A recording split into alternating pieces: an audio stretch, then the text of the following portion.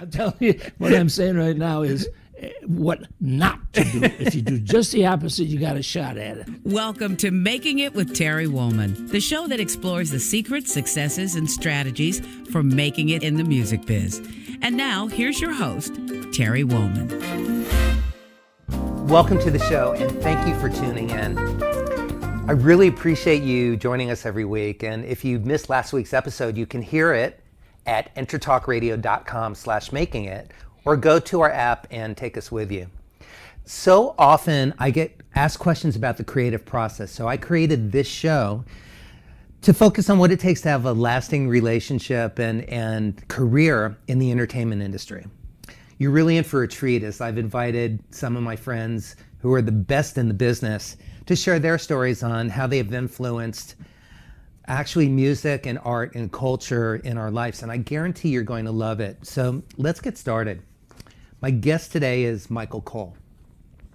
Michael Cole is an American actor. His career includes the leading role as Pete Cochrane on the television crime drama The Mod Squad, which ran from 1968 to 1973.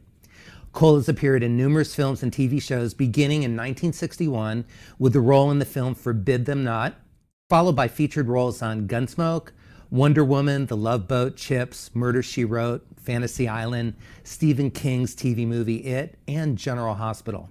His film credits include the 1966 science fiction film The Bubble, later retitled Fantastic Invasion of Planet Earth, the Last Child, which was nominated in 1971 for Golden Globe Award, and Beg, Borrow, or Steal in 1973.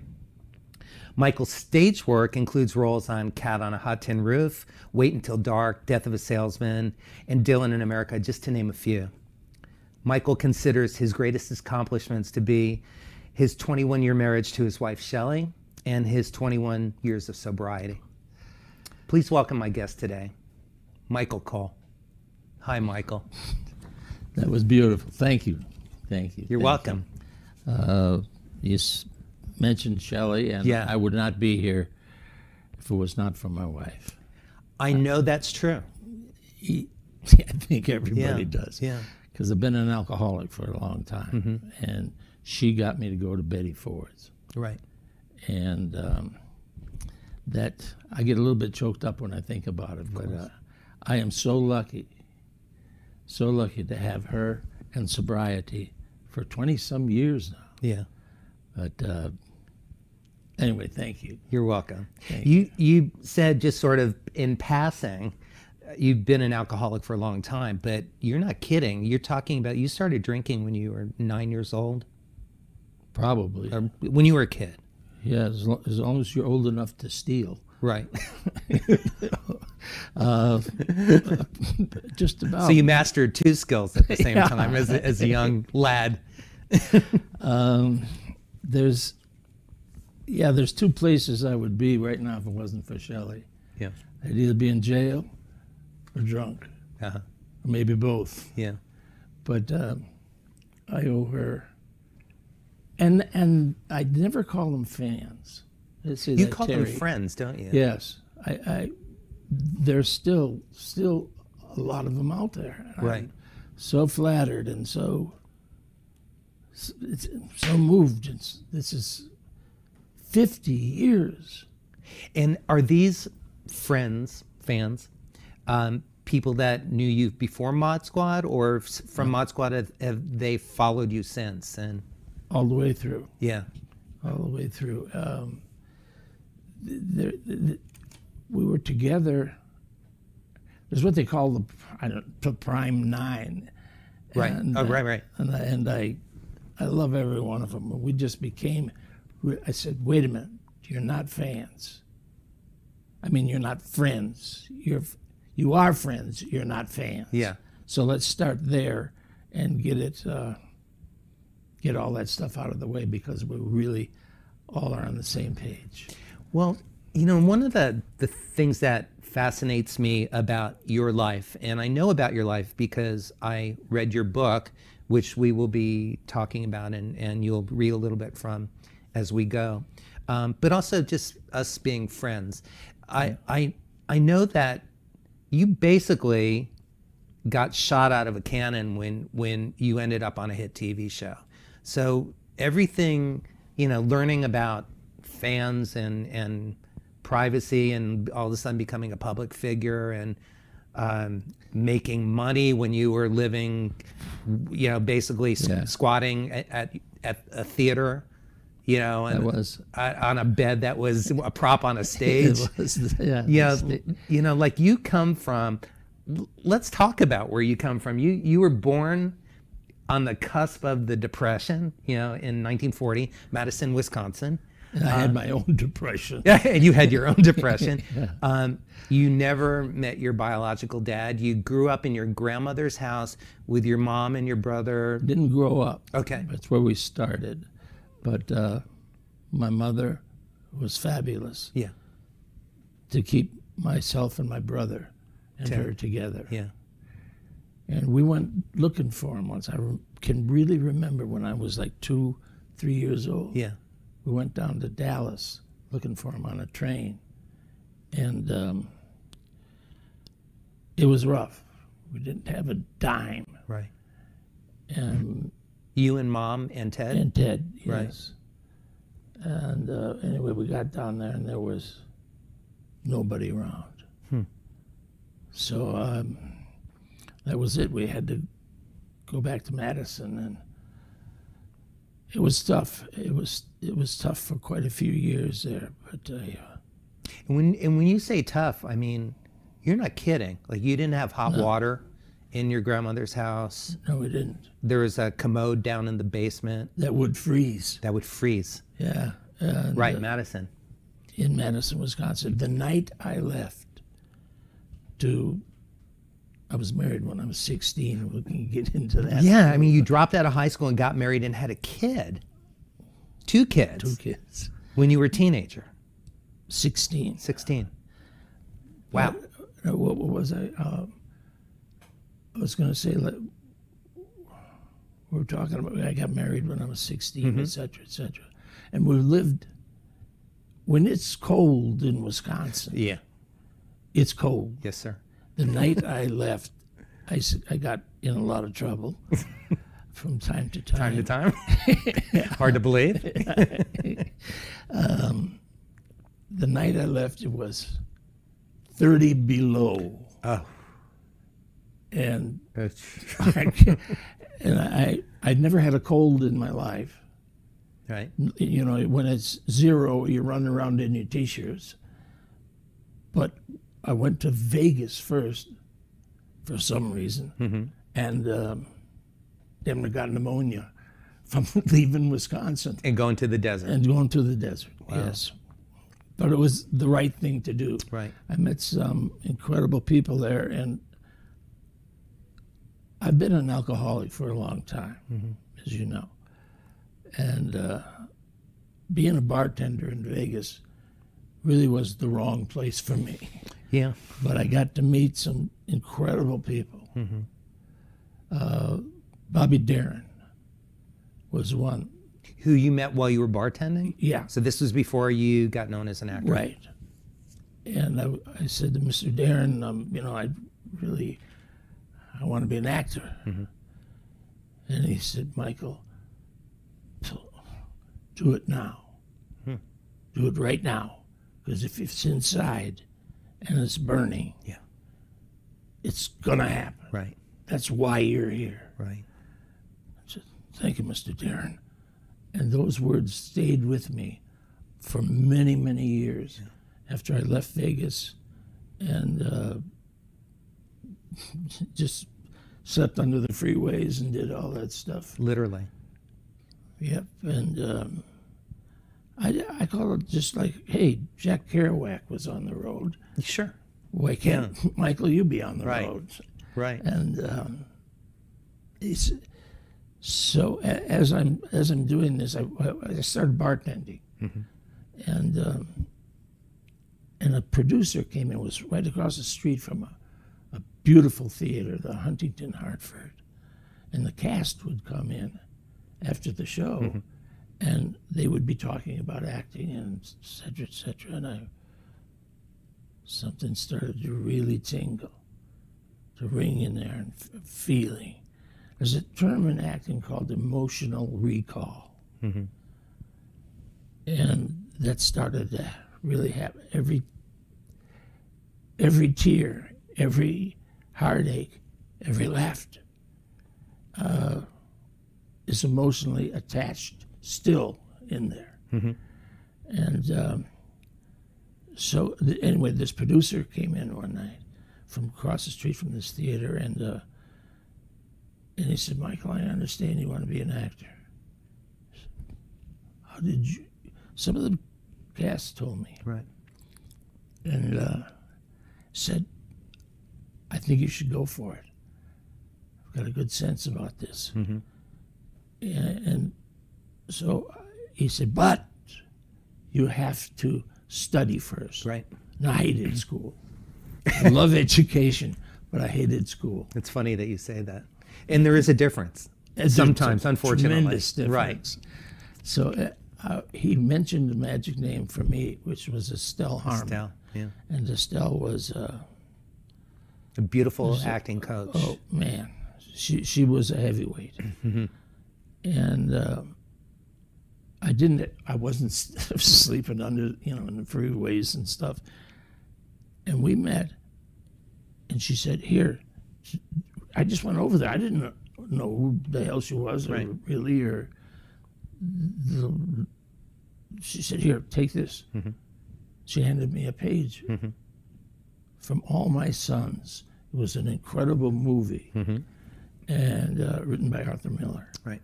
And uh, she said, "Take this and come back in a couple minutes, and I'll read it with you." Because there's different stages for her classes.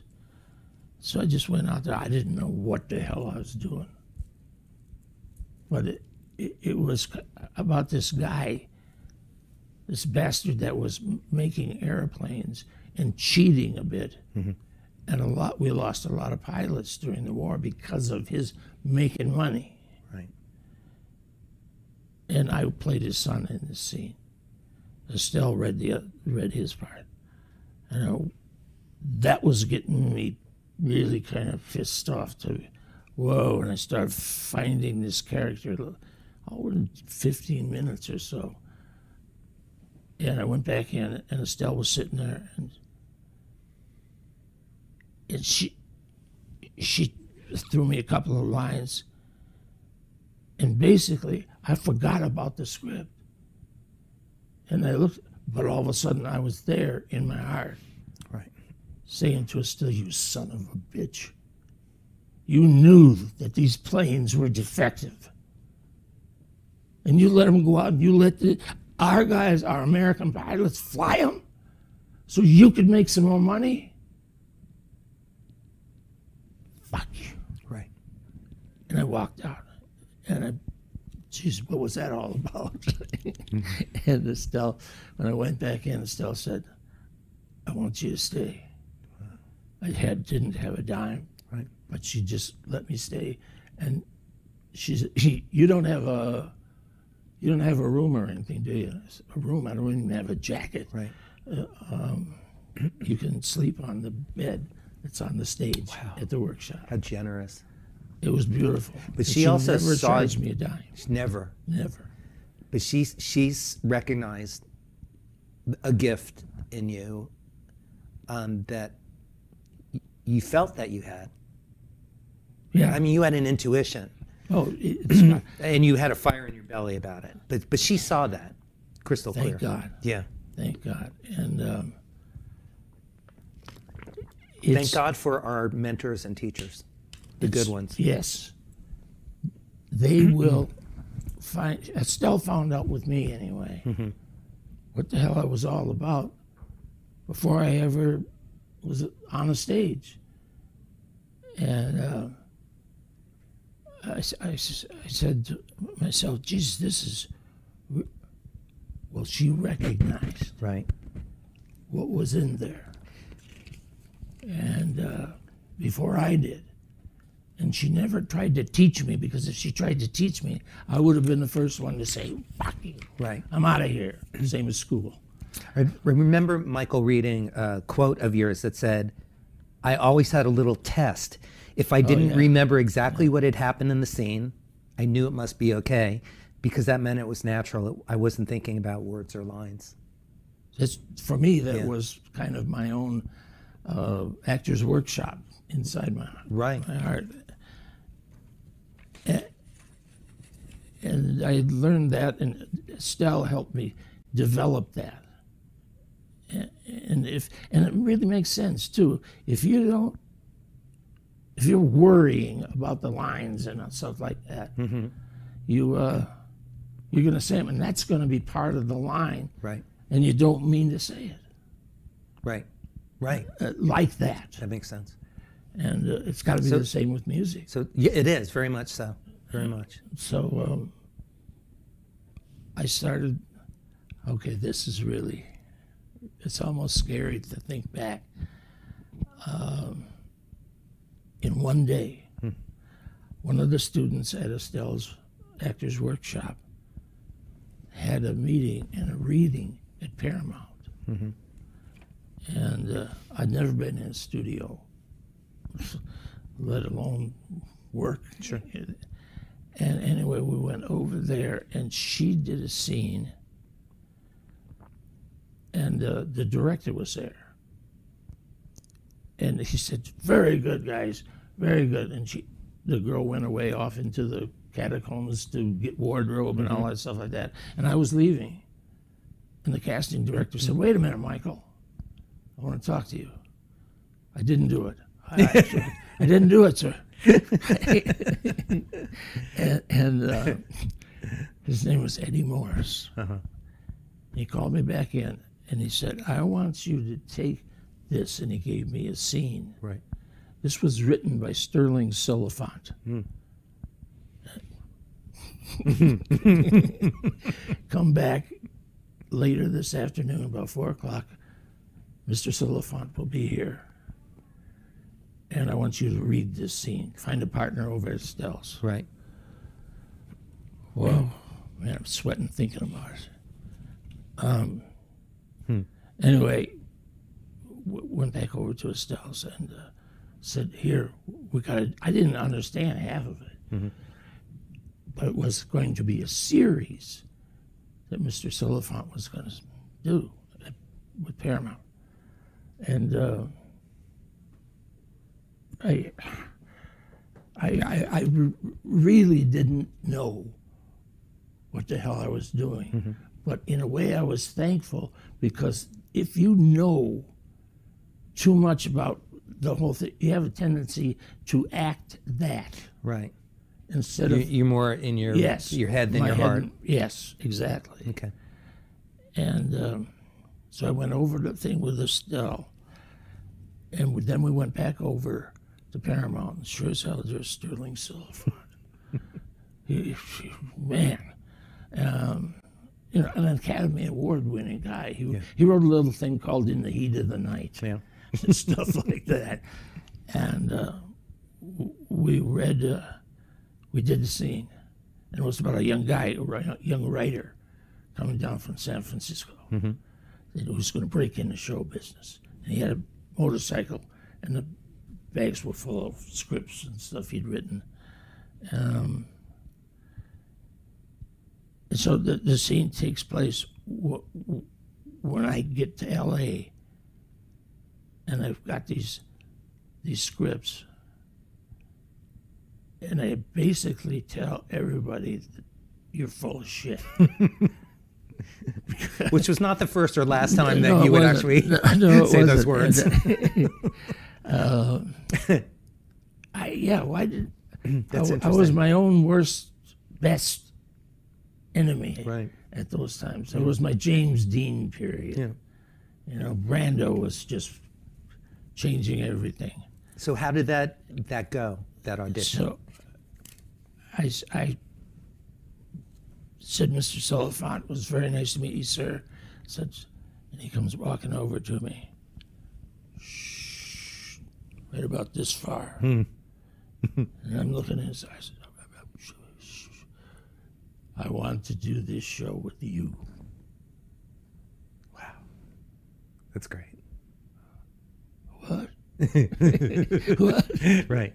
And uh, it just so happens that a great agent who had a beautiful stable was walking down the hall and sat in and happened to see that.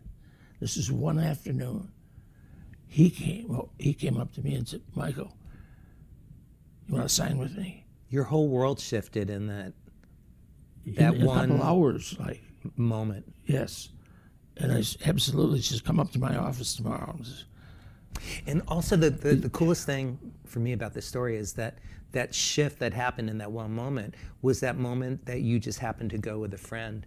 It wasn't even about you. Absolutely. I was on my way out, and they, they stopped me. And uh, So he said he wanted you. yes, now word Hollywood's a small town. Mm-hmm. Word was getting around. Excuse me, I gotta get a a little sip, Sip of of water. Yeah. Um, you know what I'm doing? I'm emotionally recalling that. Right now. Yeah. Yeah. And that's, my mouth is getting. Thank you. Yeah, of course. I don't know where the hell was I. Uh, um, So he hired, he, oh, the agent wanted to sign yeah, you. the agent wanted to sign, and uh, phone rings, Mm-hmm. and the casting director picks it up. and says, oh, "Michael, it's for you." Who the hell knows I where? ah, nope. ah, what? He said, "Yeah, it's pretty important. I think you better talk to this guy." Said, Hello. This guy says, uh, "My name is Howard Koch. I am the president of Paramount Studios. I want to see you tomorrow, Michael, because I want to set up. I want to set up a staging, and we're going to do a screen test for you." It's kind of surreal. One, one afternoon. One afternoon. Yes. And uh, I, I, I, I, I, I didn't know what the hell was. Okay, thank you, sir. And uh, they gave me, the casting people and the agent, whatever, gave me a, a reading to do that scene that we just did Right. for the um, screen test. Right. And so I went, ran over to Estelle's, Mm-hmm. the workshop, and she was standing out in front with a huge smile already on knew. her face. she already knew that. Right. And that's how it all started. But Mr. Silliphant, God rest his brilliant soul, uh, got in a big argument with the networks and all that stuff, as, as artists do, as you well know Yeah. and uh, I I finally went up to Sid's office, and he said something about uh, there's somebody I want you to meet now, because Silliphant has said this and that, and the casting people over at Parent. His name is Aaron Spelling. Wow. Aaron Spelling. That's okay. I Yeah. don't care. I'm still in my James Dean. You're still pissed. yeah, at the world. Right. Just just angry for the sake of being angry. Yes. yes. Yeah, I never thought of that. Yeah. Uh, and um, first time I went into, see, I, I guess I have a history of fucking things up Uh-huh. that could be absolutely great. You had a history. I had, yeah. You, Thank you. you've rewritten that one. Thank you, thank you, Dick. Um, and then anyway, I go. I go into Aaron's office. The agent's finally it beads of perspiration all over and stuff like that. And I said, "All right, all right, all right. I'll go meet this guy." And uh, at that time, Aaron was getting ready to do a show. So I go in there, and Aaron is only about this big Yeah. you know, it's about this big around. And uh, I, you know, I said, "Hey, how you doing, Aaron?" And and I remembered exactly. He said he launched into his pitch, if you will. Was Danny Thomas there too? Who or no, not? Danny not was not there Because he was one of the They- producers of the show. Yeah, they were partners. Okay. Danny was down the hall Got or it. wherever. And Aaron wrote it actually. He did. Yeah, and so That's great. I uh, I said to Aaron, "Wait a minute, what's the name of this?" Uh-huh. He said, "Mod Squad." Oh man, that's the dumbest shit I ever heard of in my life.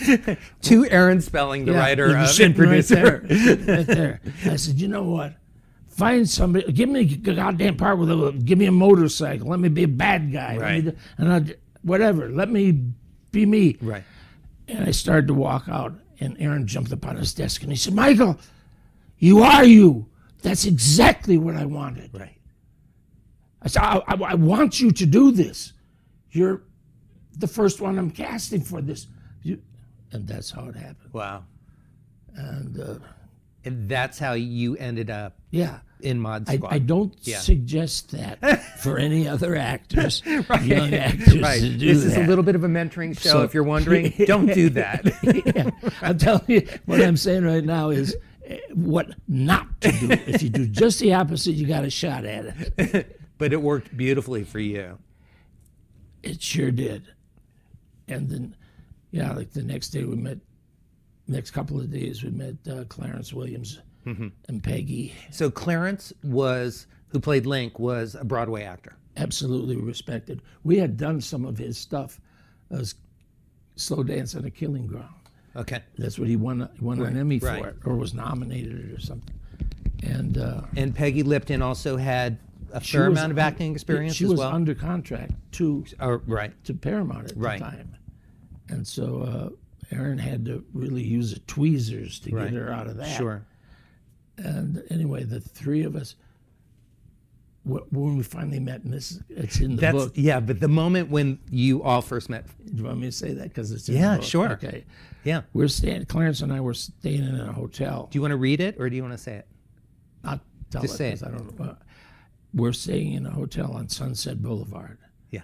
I said to myself, man, this is a hell of a long way from the, where I used to drink in Madison, Wisconsin, standing on Sunset, waiting for you to get. Anyway, this little red Porsche, it was raining. You know, this little red Porsche, James Dean type Porsche, Right. comes screaming around the corner, fishtail, etc., and hit the brakes. And Clarence and I, said, it's Peggy. Uh, and she said, "Come on, guys, get in." and it's, I said, yeah, yeah, man, okay, Peg. Nobody else on the street. Dark, Right. raining like hell. Peg reaches into her basket, her handbag, or wherever it Yeah. was, pulls out a joint. I can say Like you do. Yeah. and rolls it perfectly While she's driving and shifting? shifting and the whole thing. That's This mad little. Porsche, and uh, yeah, and, and she passed it around, and at that moment, I'm convinced Yeah. we made the Mod Squad. Right. Right there. We were never, ever not loving each other, right. Right. Yeah. and that was so powerful. Yeah. And that's what came across this, this on the screen. Yeah. I'm, I'm sure. And they had to write that. And I said, first of all, Aaron, we're not, I'm not carrying a gun. Right. We're not going to be undercover cops. Right. You know, this is not Dragnet. He Right. said, no, no, no. Right. It's it's about caring. And that's that really hooks me Right.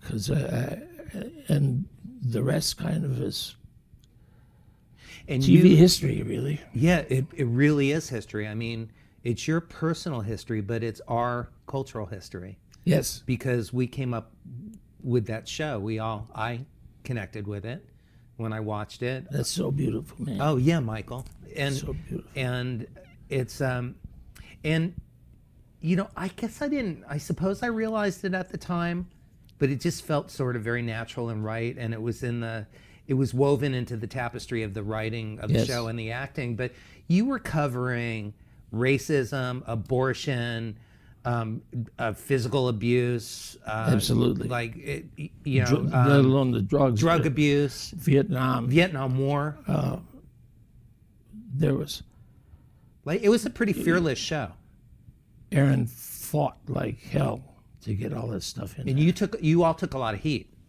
We did. There was some hate mail. I will never forget one time. yeah like maybe two, three shows into the season, Tige Andrews, the guy who played the cop, Yeah. our mentor, like, was shot. And um, Clarence has got to, we're in the desert, Clarence has got to take the bullet out. And it was hot as hell. And he's like really trying to not to hurt etc., but still get. And he was perspiring. Yeah. And uh, I reached in, I ripped my shirt like that. I reached in, and I, and a big head close up of Clarence, of course. I reached in and I mopped his brow, Right. to keep the sweat from going in his eyes. Like any friend or brother would do. He, he was, ah, yeah. Bang! The next day, there was hate mail from certain places, and um, it was how how could a white guy mop a black man's brow? Wow. Yeah. And I grabbed that, I wrote it down, and I ran down to Aaron's office. I said, "Look, I know we're on the right track now." So that didn't piss you off. It actually. yeah, like, no, you- it just, just the whole. We came back and the crew applauded everybody. You know, just it, it was. That's fantastic. It was really neat, and we went on for five years, trying to right some wrongs that Yeah. we had to plant a lot of seeds, though, and I think we did with that show. Yeah. There was. It was a different time in television Absolutely. um, where there were shows that were some of them were even comedies, but they were they were pushing the envelope in our culture Right. to to create some sort of a positive shift. this was, and I've always said, to like, well, we had to go on a PR tour, right? Clarence and I. Not Peggy. Now Peggy was doing her own stuff, Right. and there's this black guy and this white guy, right? And we, we we were planning to go to like 10, 15 towns, and make appearances to s- sell the show. Second time, second town we got in, we got in a big goddamn argument with the press people that were covering Right. the thing. And uh, one guy asked me something that really upset me. And I said, Why do you bastards always have to try and make it racial? Right. I, I swear to God, I never thought about racial shit before. And he said, How do I write that? You know, like Right. before. Right. Right. And uh, ABC called and said, Get these guys home. Right. You couldn't be left No. unsupervised. That's a good way to put it. Yes. I- Yes. let's. The Watts riot was going on then. Right. Yeah. Maybe we started it. no, no, I don't no, think you started that. you might have poured a little gas on the fire, but it was a fire that needed to burn. Good. Yes. Yeah. Um, I want to talk about your book. And the, the book is called I Played the White Guy. Great title. kind of self explanatory. Uh, but I want to read uh, a description of the book um, that was written by uh, Jennifer Aguilar in Goodreads. And here's what, what she said This is a story of love. This is a story of love so deep as to conquer a 40 year addiction. In this story, Mr. Cole gives us an honest look at humanity, youth, and the gift of imperfection. A courageous and relatable trip through the detours a life takes. The author writes with an empathetic vulnerability that makes for great realism. The characters are fully human, especially his brother, mother, and amazingly strong wife, who ultimately gives him the final push to reach the mountaintop. It's engaging, heartbreaking, and uncomfortable, but also warm, uplifting, and gives you faith in the human spirit. One might even believe they're a better person for having read it. Which really sums up the book. And I want to read one other quote from somebody who I know um, we were both touched by um, Senator John McCain. Very. Whoa. And I was just watching part of the, the funeral the other day, and, and, and somebody read this quote of his, and it, it made me think of you.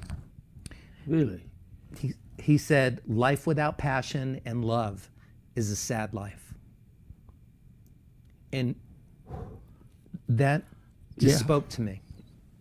Sure does me. Yeah, Now I'm lucky enough to have found Shelley. Yeah. Just have been sober for a long time. Yeah. I'm sorry, I got choked up over that. That's, Yeah. That was uh, that was pretty. Can I just read something? I would from, love that from the book. Yeah, This is uh, this is me thinking about something. um, this is the way I had to wind it up. How are we doing on time? we're good. Okay. Um,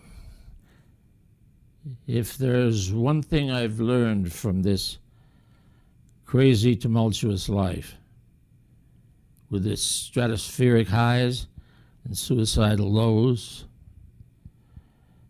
is to live one day at a time. I have at least made peace with myself and let go of a, a lifetime of guilt and anger.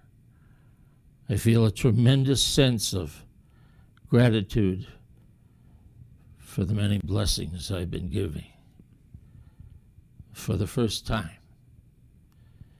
things are truly as they should be, according to God's plan, not mine. Thank you for letting me Yeah. share that. That's This book, which I, I read, is is it's a beautiful book, and I, um, you know, one of the things, of course, it's fun to read the history of you and Gunsmoke and Mod Squad and Cat on a Hot Tin Roof and all, you know, all the the um, the out in the world things, you know, that we knew about you. Um, but I really felt like I got to know who you are from reading this book. Like I felt like I knew you after I read it. That's exact. Thank you. That's exactly what I was trying to do. And like I said, I quit school in eighth grade. Uh, I think I said that. So yeah. I, I really can't spell. And somebody said, as a matter of fact, Are you a good reader? yes, once I get going. Yeah. But that's Like you I- enjoy reading. Yeah, absolutely. Okay. But what a person told me this is you're going to write a book, huh? Why don't you read one first? It's a it's a good start. was so cool. yeah, that was beautiful. That's And- very funny. Uh, and so anyway, I started. I just started to write down how to. Where do you start? Well, it's not a bad place to start at the beginning, Right. and um, I can read another passage if you if there's time. Yeah. And did you, Michael? Did you write this book more for you, or was it to be of service and to help other people? both, Both. absolutely both, because it's part of being an alcoholic to me. And part of the recovery. Absolutely. Right. And I wound up at the end talking about that. Shelley got me to into Betty Ford, Yeah. and uh, That was a, a really courageous move, I think, on Shelley's part. it was. I've never experienced love like that. Although it might have been the only move at that point, It was. too. It was for her too. Yeah. For her, and then I, I walked in the room, uh, in a room, and I'd already been talking to this guy about getting sober and stuff Mm-hmm. like that. This guy meaning a counselor? Yeah. Okay. I'm sorry. Yeah. And um, he's sitting there, Shelley's sitting there. It's another guy from, uh, I think from SAG, Mm-hmm. because they have a program. Oh, anyway, Right. Uh oh, what's going on? I'm really busted. Right. Shit. And the one the counselor guy stands up and he says, Michael, whatever I can do for you, it's not working. I can't take your money anymore because you're still drinking. And it, it's wrong for Shelley and it's wrong for wrong for everybody. Right. especially yourself. Right. And um, within a week or something like that, Shelley was driving me down to Betty Ford's. And I, ha- I, I haven't had a drink in like 23 or four years or something like that. And never missed it because it, the power of her loving me and me realizing that was what it was. It was to keep that or kill yourself. Right. Because you found this remarkable woman that you loved and who loved you. Absolutely. We, w the night we met, we Hmm. just started talking. Mm-hmm. A friend introduced us. Right. You got fixed up or No, you just you just got introduced? you got introduced, and she was so pretty. She still is. Thank you. yes. And uh, so smart. Mm-hmm. We started talking about everything from the Lakers, the LA Lakers, to because she was a big person in advertising, like with Rolling Stone magazine and GQ Mm-hmm. and stuff like that. And man, so smart. Yeah. that I, I didn't want it to end. I asked her if she would come up. I was living in the woods by myself, uh, totally. And when you say in the woods, did you have a cabin or would yeah, a tent? yeah, cabin. A cabin. Okay. this was a couple of years, and it was literally a log cabin. Right. It was built in 1928. But anyway, Mm-hmm. Shell was a little leery about going up. It- was that pop for us? I do not know. Apparently. She, she, she followed me up to the cabin and she came in and we talked and talked and talked and played Bob Dylan's. Uh, what, the, what, what was it? Uh, a lot of Bob Dylan Yeah. stuff. And uh, knock, knock, knocking on heaven's door. Oh, there you go. Yeah. Right. That's what I felt like I was just doing when I was Oh, with Shelley. perfect. I know it. It didn't. It all. It all came together, and um, I, I She had to go. It was really getting late. She's got to get up in the morning, and uh, so I. She followed me down the hill, and uh, st- we stopped at the main street so she could find find her way home. And I said, "Can I see you tomorrow?" I didn't want her Right. to go. And uh, she said, "It already is tomorrow." That's pretty witty. and uh, Did you kiss her goodbye? yes, it wasn't goodbye though. Well, did you kiss her good morning or good No, I night? just kissed her. You kissed her. Okay, and Yeah. uh, and I went back up to the uh, to the cabin Right. and waited a couple of minutes because uh, she had to get give her a chance to get home. Mm-hmm. And I called and left a message. I just wanted to make sure you got home safe. Yeah. And she called back, and she's that meant so much to her Mm-hmm. that we started. It was to see her again Yeah. and again and again Right. and again. And that was twenty some years Wow. ago. So, so I love that story. Um, so, so Shelley was the the catalyst to get you into Betty Ford, and I know that um, from reading about it that that was not an easy experience or, or easy time, but you you you got through it together, and Yes. I know in some ways that um, that must have brought you closer. Um, but then you had another experience as a couple later involving cancer. I have what I don't know what I is. Somebody told me you've got cancer. Mm-hmm. I think prostate or some one of those things mm-hmm. down there. Right. Down there. yeah, in there somewhere. Been cut on so many times. What's left? right. Um, and and they took it out, Yeah. and I couldn't remember. So I think so. It uh, got something something to do with selective memory or something mm-hmm. like that. Because Shelley came home the next day, and said something about cancer. I said, What? Who? Me? Bullshit. I don't have I totally blocked it out. There's a term for that. And, Yeah. and uh, we beat that. Together. Absolutely. You- but now wait a minute. Yes. Then the story gets even more Yeah. interesting. Shelley goes to the doctor. Right. I don't know how many months, uh, a year later, or something like that. She's got cancer. Right. I cannot lose this lady. I cannot lose this lady. She went and had hers done. Cancer free. Both of you. Yes, that was that, that was from Ma. What a blessing. It sure was. This has been a blessing, my friend.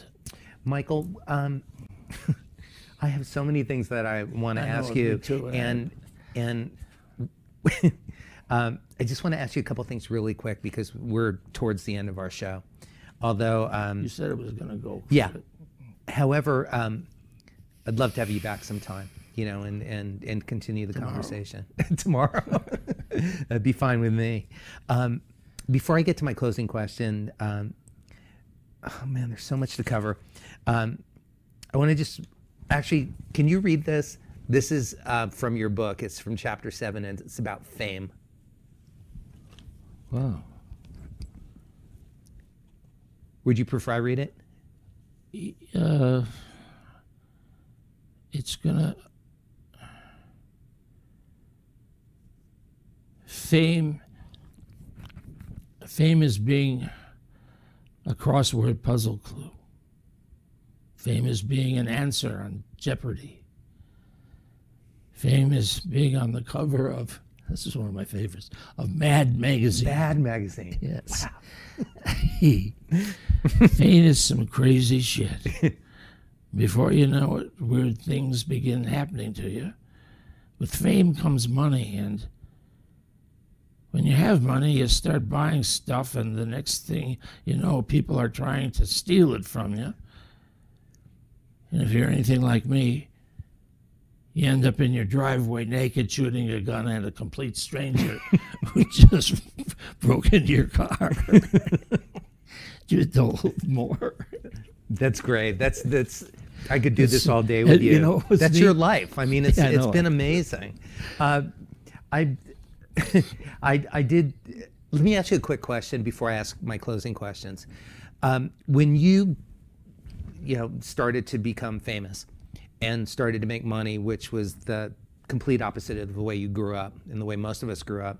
Did you have a financial advisor? Did you have a plan? Did you have people showing you how to save for this point of your life now to so that you would be God. I, I, I did. okay? And this agent that I mentioned before, Right. you got a business manager. Good. Otherwise, I would have been right back in Wisconsin. Right. At the same bar stool. Right. And um, So you got good counts, good advice, good guidance. yes. I, yeah, I did. Thank God. I'm glad to hear that. Um, let me um, end by um, asking you the closing question that I ask all of my guests. The first is a two part question. This show is called Making It. What does making it mean to you, both personally and professionally? And also, can you give three tips that have um, propelled your career? Three tips, points of advice. Yeah, yeah, yeah. Uh, every time I've done a play, I've been asked to like come out and talk to the in the drama department. Mm-hmm. This is basically the audience. And I said, I want to ask you three questions. Mm-hmm. First of all, how many of you think you're a good actor? Everybody raise their hands. It's okay. If you're bullshitting, you're only bullshitting yourselves, Right. not me. Right. Um, second question is how how uh, how do you think you could handle yourself if you were on stage or in a film with George C. Scott? Hmm. It's just not bad. or Marlon Brando. Right. Or, and you can really hold your own and give them something that they can come back at you with. And about a third, third or so, the people raised their hands. Mm-hmm. And I said, the last question is, how many of you, and please be honest, how many of you have no choice? Because it's what you are. Hmm. And you know that as a wonderful musician. Hmm. And maybe three, four people would kind of reluctantly raise their hands. Mm-hmm. That's who I want to work with. Right. Um, I'm sorry. I, No, it's a, it's a. those are three. Those are three great questions, and and they actually, um, they serve the purpose for what I was asking. Okay. Um, wh- what about making it? What do you What do you consider making it in life, professionally and personally? I never thought about it professionally, but like, So personally, yeah, like personally, it it was all the stuff that I went th- experienced that uh, made me so pissed off to begin with right? That I was finally able to use Oh, that's in this creative way. Right. and uh, th- th- uh, that I was really thankful for. There's um, th- I wrote something in there, but probably don't have time to. Um, about being a kaleidoscope, Right. and that was me of all these emotions Right. and stuff like that, and finally they were set in place Right. by acting. And the and the acting allowed you. Correct me if I'm wrong, because this is you I'm talking about. But it it allowed you to turn that anger into passion or funnel it, That's what Estelle express it because Estelle with passion. had a lot to do with it, and she? so did Shelley. Yeah. Um, confidence and being loved. Right. I, I really couldn't be pissed off anymore. At a lot of people, just in general. Right. I'm loved. My spiritual side has been awakened. Um, it's all. I wouldn't be here with you right now, Terry. If it wasn't wasn't for that. And uh, now you get me choked up again because I'm just so bloody thankful. Yeah. That's a beautiful thing. Thankful. I I, res- You know I respect that in you. Thank you. Yeah. it- it's people ask how do you get to be there how do you do this and all that stuff like that you got to just follow your instincts if it seems right you got to do it mm-hmm. hmm. and it'll be right Right. don't give up stick your ass in the wind and don't give up Got it. And if you don't, and there's some talent or something like that still beating inside you, it'll kill you. Right. Because it'll rip you apart. It's its own entity. Right. It will take your heart out and shove it down your throat. So just simply pay attention to those feelings that are inside and don't give up. Because there is no other way to go Yeah. other than knocking yourself off alcoholism, uh, drugs, or something, you know, just anything to cover, Yeah. to suppress that honest feeling. That's, uh,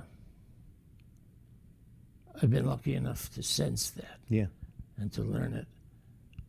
Thank God for Shelley. Thank God for Shelley. Ooh. Let me ask you our final question, and it can be a, really simple one sentence answer. Um, with at this point of your life, Michael, with everything that you know to be true, if you could, what would you tell your younger self?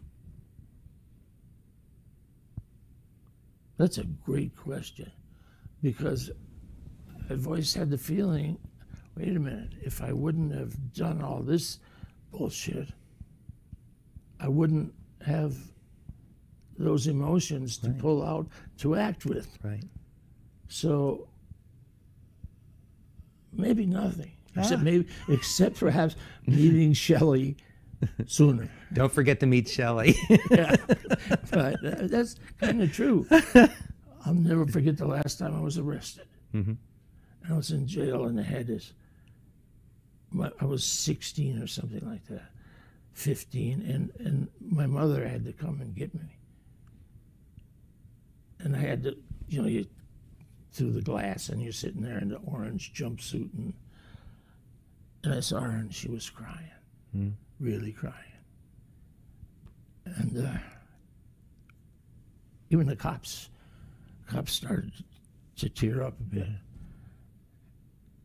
And that was, I was very, very close to being sent away for a long time. But uh, I'm sorry, I got emotional. It's okay. with I want to um, thank you for for being so honest and and opening your heart and your book and and your story. Um, everybody, um, Michael Cole, um, go buy this book. Um, it's you'll feel like you really get to know this gentleman that's sitting next to me, and and uh, it's up on Amazon and any place you can find a book. Uh, and go watch some old Mod Squad episodes and and and all the the beautiful work that you've done. Um, thank you for spending the hour with me. I really appreciate you. God bless. Thank you. You too. Do you know the Irish prayer? Tell us. May the road rise up to greet you. May the wind always be at your back. May the sun shine warm upon your face. May the rain fall soft upon your fields until we meet again. May God hold you in the palm of his hand. And may you be in heaven a half an hour before the devil knows you're dead. God bless. I mean that with all my heart, Terry. Amen. Thank you. man. Thank you, everybody. Michael Cole, thank you for spending the hour with us, and uh, we'll see y'all next week.